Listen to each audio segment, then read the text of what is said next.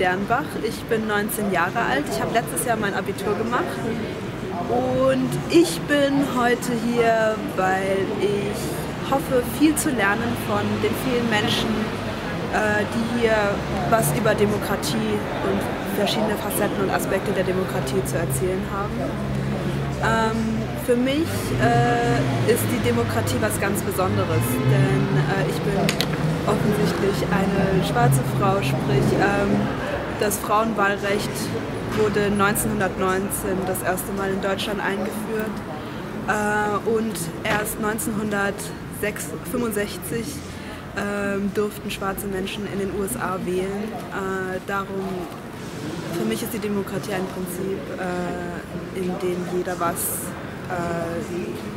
frei und offen der, zur Gesellschaft beitragen kann äh, und mitbestimmen kann.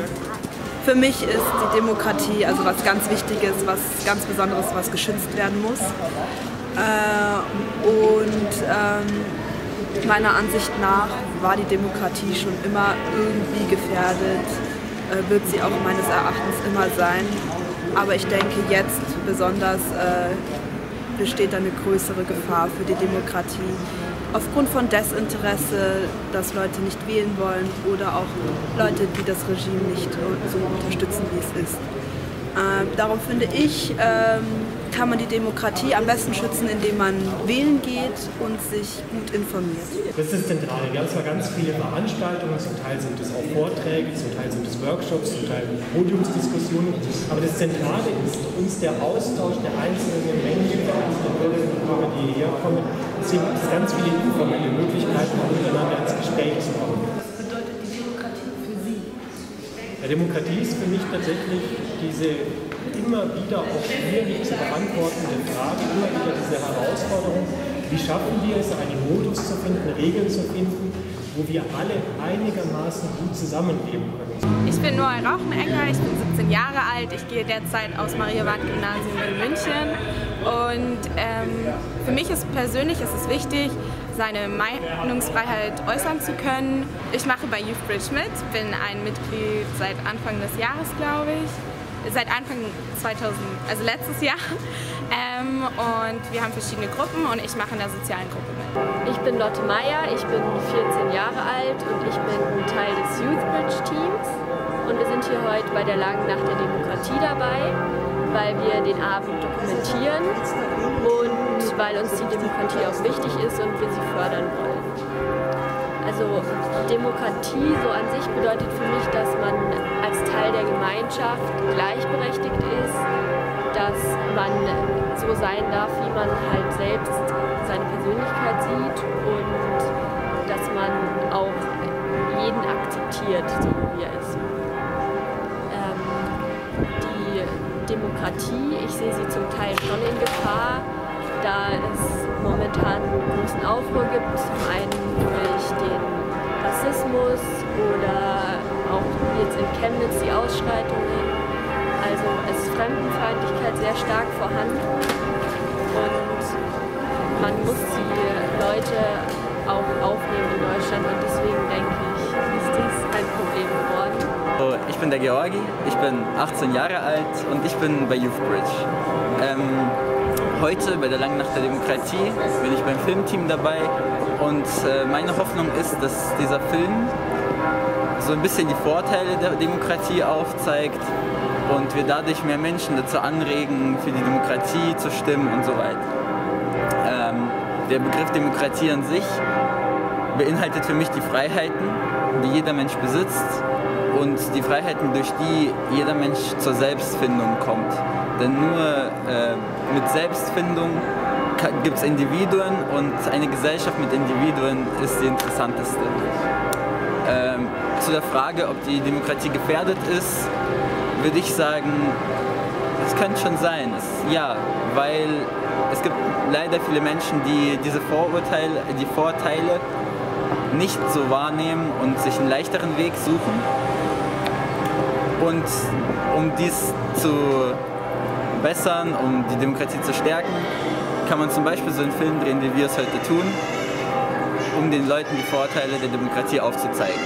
Ich bin Arseni Pavlenko und ich bin heute hier mit YouthBridge, um herauszufinden, was für eine Rolle Demokratie heute spielt. Und ich finde, Demokratie ist wichtig, weil es uns eine Freiheit gibt und es uns hilft, uns daran mitzubeteiligen, wie unser Land regiert wird. Und ich finde, das soll auch weiterhin so bleiben.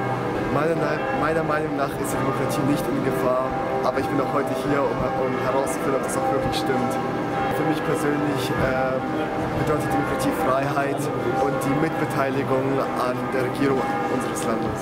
Ich bin der Jeffrey Golden. Ich habe gerade mein Abi gemacht und arbeite jetzt im Apple Store. Und ähm, ich bin hier bei der Langen Nacht der Demokratie, da ich mich äh, inspirieren will und auch generell mehr von Politik erfahren will, da ich in meinem Umfeld nicht so sehr dazu komme, ähm, mich über Politik ähm, auszutauschen mit meinen Eltern. Kommt es quasi nur seltener vor, aber mit meinen Freunden äh, häufiger und deswegen erwarte ich mir von den Abend, dass ich das eben auch noch mit anderen fremden Leuten machen kann. Demokratie bedeutet für mich Meinungsfreiheit, als erstes dann auch, ähm, äh, dass jeder die gleichen Chancen, gleiche Rechte und gleiche Pflichten hat, in einem Staat zu leben. Und ja, generell eben der Pluralismus ist sehr entscheidend. Ich würde sagen, die Demokratie ist nicht in Gefahr, weil ähm, jeder eben seine Meinung so ausüben kann, wie er will und es eben dadurch so breite Spektren gibt, wie jeder eben ähm, quasi seine Sachen umsetzen kann. Aber man könnte auch sagen, die Demokratie ist in Gefahr, weil quasi äh, die Demokratie nur das umsetzen, was die Märkte verlangen. Aber ich aus meiner Meinung würde sagen, sie ist nicht in Gefahr. Hallo, wir haben heute den weltweiten Tag der Demokratie und passend zum Anlass findet heute hier in München und bayernweit die lange Nacht der Demokratie statt. Wir sind hier mit dem Veranstalter, ähm, Herr Dr. Böser-Schnäbel. Wie wollen wir eigentlich zusammen leben? Und das ist es auch, was wir in unserer Demokratie brauchen. Das heißt, meine Wunschvorstellung ist, dass heute Abend die Menschen an der Demokratie, mit der Demokratie reifen und damit auch unsere Demokratie reifen und sich weiterentwickeln kann. Denken Sie, dass diese Veranstaltung dazu beitragen kann, dass vor allem auch junge Leute mehr dazu motiviert sind, zum Beispiel wählen zu gehen oder Teil einer politischen Partei zu werden? Ich glaube schon. Letztlich geht es darum, dass man erstmal anfängt, darüber nachzudenken, was ist das hier eigentlich, unsere Gesellschaft, unsere Demokratie, was ist das Politik.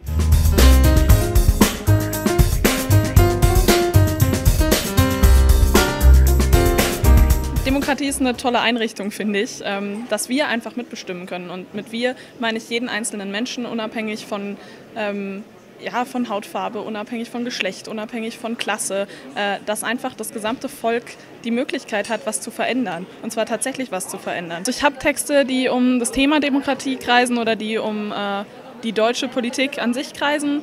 Ähm, ich rede sehr viel natürlich über Bayern, weil es meine Heimat ist. Dann wollte ich noch mal wissen, wie wichtig ist Demokratie für Sie persönlich? Es gibt für mich keine andere Form des Zusammenlebens in einer Gesellschaft. Glauben Sie, die Demokratie ist in Gefahr? Die Demokratie ist ein sehr zartes Pflänzchen. Sie ist nicht in Gefahr, sondern sie bedarf immer unserer steten ähm, Sorge. Ich kann nicht sagen, wenn ich eine Topfpflanze am Balkon habe, sie ist in Gefahr, nur weil ich sie nicht gieße. Nein, sie braucht eine tägliche Pflege. Du musst mit einer Pflanze jeden Tag reden. Du musst sie jeden Tag besuchen, du musst sie jeden Tag gießen, du musst sie beschneiden, du musst immer an ihr arbeiten. Und so ist es mit der Demokratie. Parlamentarische Opposition ist ein grundlegender Bestandteil der parlamentarischen Demokratie. Stirbt ein Mensch, so hält man ein. Es kann doch nicht so einfach sein. Hier wird gleich weitergemacht. Wer hat sich das gedacht? Über den Staatshaushalt findet kein Volksentscheid statt. Artikel 101. Jedermann hat die Freiheit, innerhalb der Schranken der Gesetze und der guten Sitten alles zu tun, was anderen nicht schadet. Artikel 106. Jeder Bewohner Bayerns hat Anspruch auf eine angemessene Wohnung. Die Förderung des Baus billiger Volkswohnungen ist Aufgabe des Staates und der Gemeinden. Artikel 109 und 110. Die Bekämpfung von Schmutz und Schund ist Aufgabe des Staates und der Gemeinden. Alle Bewohner Bayerns sind berechtigt, nach außerdeutschen Ländern auszuwandern. Wenn's nix wird mit unserem Haus, dann wandern wir halt nach Österreich aus. Fiert die Bayern, grüß dich Tirol, da fühlen wir uns wohl. Darf ich wissen, wer Sie sind? Mein Name ist Simone Fleischmann und ich bin hier als Präsidentin des Bayerischen Lehrer- und Lehrerinnenverbands. Wir sind im Wertebündnis engagiert. Was für ein Zufall. Können Sie sich noch an Ihre erste demokratische Wahl erinnern? Ja, das war die Klassensprecherwahl. Äh, die war richtig demokratisch. Ich durfte dann nämlich in der Grundschule schon wählen bei uns, obwohl das noch gar nicht offiziell war. Und wir setzen uns auch dafür ein, als Lehrerinnen und Lehrer, dass jetzt die politische Bildung und die Demokratiepädagogik in den Schulen wieder leben kann. Ich bin die Barbara Stamm und ich bin die Präsidentin des Bayerischen Landtags.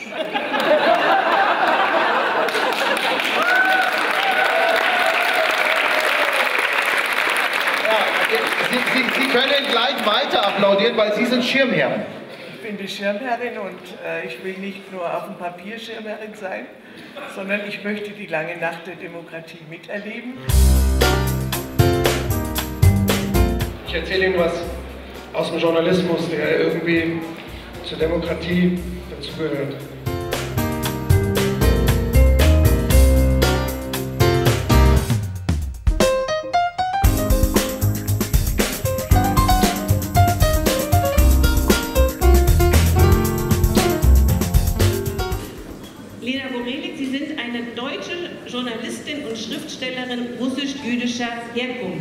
In diesem Satz steckt schon ziemlich viel. Unter anderem steckt für mich da drin, dies ist eine Person, die es gelernt hat, dass es unglaublich viele Perspektiven auf unsere Welt und ihre Wirklichkeit gibt.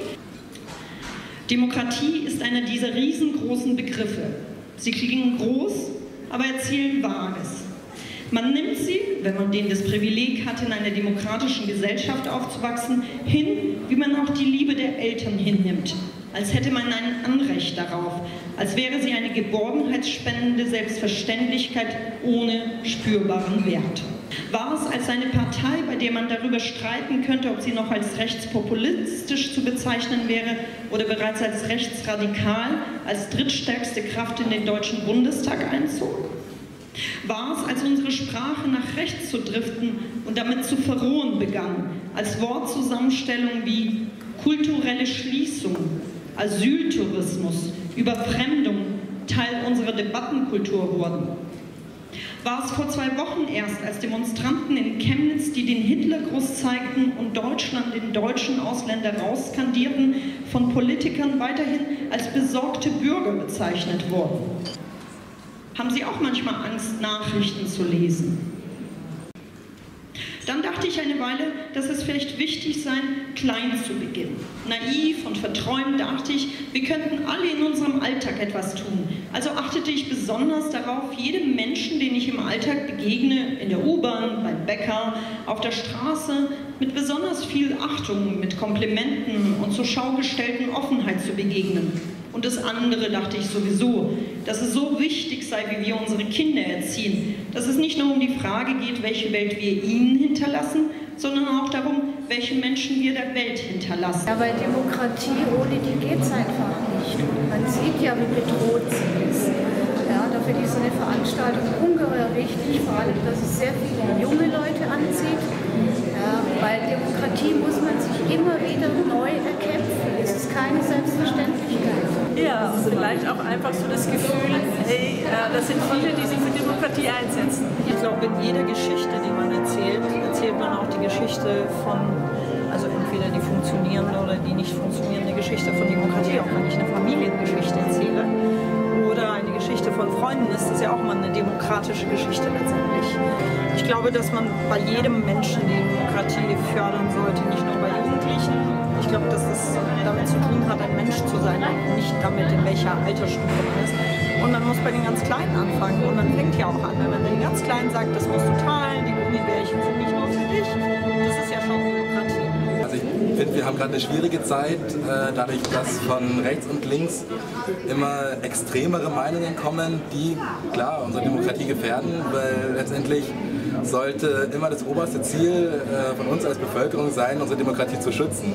Ähm, über dieses schwere Thema, man, man merkt jetzt auf dem, in der Welt und so, es die Rechte auch, tauchen auf, ist es ja so, ähm, die Leute haben nicht so gute Stimmung, ich weiß es nicht, alle haben Angst. Und ich dachte, ich kann nicht über was, die ich nicht selber erfahren habe, wirklich diskutieren oder reden, statt ich muss ins mein Herz gehen eigentlich und über meine Sicht und meinen Aspekt zu reden. Aber ich merke schon, wie jetzt wieder behauptet oder thematisiert wird, welche Haut- oder Haarfarbe du hast. Und wenn nicht, dann den Akzent. Woher kommst du? Ist wieder von den ersten Fragen, die man gestellt bekommt, wenn man sich mit neuen Leuten trifft. Ich frage mich, was für Zeiten erleben wir gerade? Du fragst dich selbst ständig, wo soll man hingehen, um ein normales Leben zu haben? Einfach, wo man sich selbst sein kann, ohne Begründung und ohne das Bedürfnis einer Anerkennung von den anderen zu brauchen. Wo du einfach als Mensch gesehen wirst. Aber ich möchte meine positive Haltung nicht aufgeben. Ich möchte immer glauben, dass auf diesem Planet jeder einen Platz hat. Einen Platz, wo er sein möchte. Ich fordere für die Demokratie, dass von nun an jedes Wahlduell, jede Bundestagsdebatte und vor allem jedes Politikerinterview von Guido Maria Kretschmer moderiert und kommentiert wird. Und ich fordere Gummischwimmeinhörner für alle, die wählen gehen. Ich wünsche mir, dass die Parteien ab jetzt Teams heißen. Also Team Markus, Team Natascha und Team Lurina. Das wäre dann der It-Couple-Name von Ludwig Hartmann und Katharina Schulze sowie Brangelina mit Brad Pitt und Angelina Jolie, aber mit Hashtags davor. Und dann will ich, dass in den Wochen vor der Wahl jeden Sonntag ein Team rausgewählt wird. Und zwar nicht per Briefwahl. Ich meine, Briefwahl geht's noch. Gibt es demnächst vielleicht ein Update auf Mittelalter 2.0 und man kann seine Stimme faxen, sondern per SMS. Und am Ende bleiben zwei Teams, die dann irgendwas Spannendes machen. Schlammcatchen oder so. Äh, glauben Sie, dass Sie mit Ihrer Arbeit mit dem Open Borders Ensemble die Demokratie stärken können? Ich hoffe so, denn das Open Border Ensemble ist eine von meinen die Sachen, die ich äh, hier in Deutschland gemacht habe.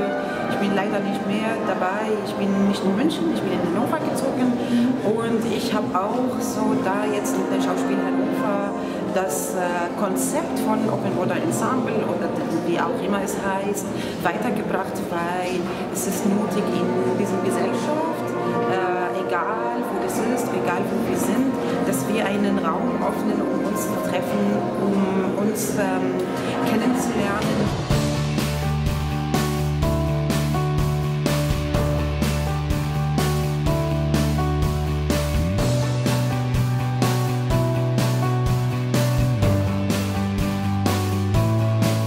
Wir sind hier bei der Hochschule für Fernsehen und Film in München und hier gibt es einen Stand, der heißt Gemeinsam Handeln.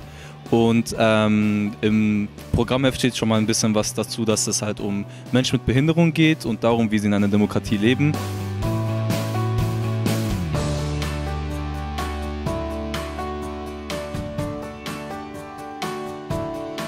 Wofür ihr heute steht und was ihr mit diesem Stand bezwecken möchtet.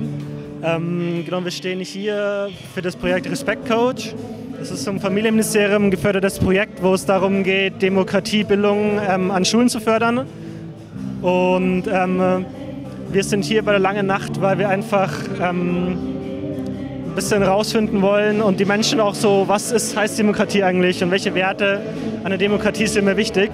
Also wir sind hier vom äh, Paritätischen Wohlfahrtsverband in Bayern. Wir setzen uns ein für ganz viele Menschen, ganz unterschiedliche Herkunft, mit unterschiedlichen Hintergründen. Ähm, und eine Gruppe, für die wir uns einsetzen, sind Menschen mit Behinderung. Es geht um Barrieren äh, für Rollstuhlfahrer. Es geht aber ganz oft auch um Barrieren in den Köpfen.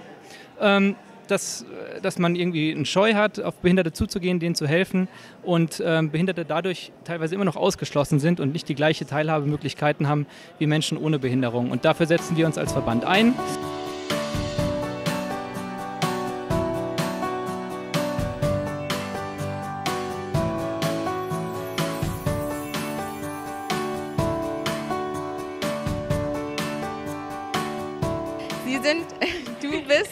Heute auf der Messe ähm, beziehungsweise auf der langen Nacht der Demokratie. Was ist für Sie denn so wichtig an der Demokratie, dass Sie sich dafür einsetzen möchten? Ja, also ich habe Politikwissenschaft studiert und für mich war Demokratie schon immer die Basis unseres politischen Systems und ich glaube, es ist das beste System, das wir haben können, weil alle mitbestimmen können und es ist sehr gleichheitliebend und gleichzeitig freiheitsliebend. Also man kann die Freiheit eines jeden haben in einer Demokratie und gleichzeitig muss man versuchen, dass alle Bürger gleichgestellt sind vor dem Gesetz. Ja, und wie setzen Sie sich dafür individuell ein? Äh, in meiner Arbeit. Ich bin Projektmanagerin im Democracy Lab vom Progressiven Zentrum. Das ist eine Denkfabrik in Berlin. Und wir kümmern uns um die Zukunft der Demokratie. Das heißt, wir schauen nach Reformen äh, im demokratischen System und wie wir das verbessern können. Also in meiner Arbeit und in meinem, meiner Freizeit mache ich das auch, indem ich ein Ehrenamt habe bei Polis 180. Das ist auch ein Think Tank und da diskutieren wir über Europa- und Außenpolitik und versuchen, junge Menschen dazu zu motivieren, sich mehr für diese Themen zu interessieren. Ich finde es immer sehr schön, Initiativen zu unterstützen, die Leute, gerade junge Leute dazu bringen, sich mehr zu engagieren und auch sich politisch zu engagieren. Wie sieht es bei Ihnen aus mit Digitalisierung, so Fake News, falsche Informationen quasi auf Deutsch gesagt? Ähm, haben Sie auch das Gefühl, dass das eine Gefahr darstellt, weil viele Menschen ja einfach das glauben, was im Netz steht? Das ist definitiv ein Problem in Deutschland, Fake News und Hate Speech vor allem auch. Äh, da hinkt die Politik natürlich immer hinten dran, weil es eine ganz, ganz neue Entwicklung ist, die sehr schnell funktioniert. Und dann muss man versuchen, es zu regulieren oder Lösungen zu finden. Und die haben jetzt das NetzDG gemacht, also das Netzdurchsuchungsgesetz, das im Januar ähm, in Kraft getreten ist wo zum Beispiel Facebook und Twitter äh, Hassnachrichten wegmachen müssen. Allerdings ist es auch nur, naja, es gibt auch sehr viele Probleme mit dieser, mit dieser Lösung. Das heißt, so richtige Lösungen hat man noch nicht gefunden. Allerdings hat die Digitalisierung natürlich eine sehr, sehr, großen, sehr, sehr große Auswirkungen auf unsere Demokratie. Und da müssen wir schauen, und gerade Entscheidungsträgerinnen müssen schauen, dass sie da Lösungen finden. Ähm, auch da, also Jugendliche sind natürlich, die wachsen mit den digitalen Medien auf und äh, haben natürlich einen ganz anderen Umgang damit sofort. Ich habe da keine Zweifel, dass die äh, da kritisch mit umgehen. Auch da sind wir alle wiederum gefordert, als Eltern für unsere eigenen Kinder, natürlich auch im Schulsystem, in der Ausbildung, um die jungen Menschen und das Awareness, die Awareness dieser jungen Menschen zu schärfen in Bezug auf diese Themen. Und was persönlich unternehmen Sie dagegen? Ich selber unterstütze ein paar Projekte. Mein Arbeitgeber äh, gibt mir sieben Tage im Jahr, die ich zusätzlich zum Urlaub für wohltätige Zwecke einsetzen kann. Ich unterstütze beispielsweise ein Projekt, das nennt sich Coder Dojo. Und äh, zuletzt habe ich dort einen Programmier-, spielerhaften, spielerhaften Angang zum Programmieren ähm, für die St. Ruppert Schule mit unterstützt und damit Kindern wirklich spielerisch Programmieren geübt.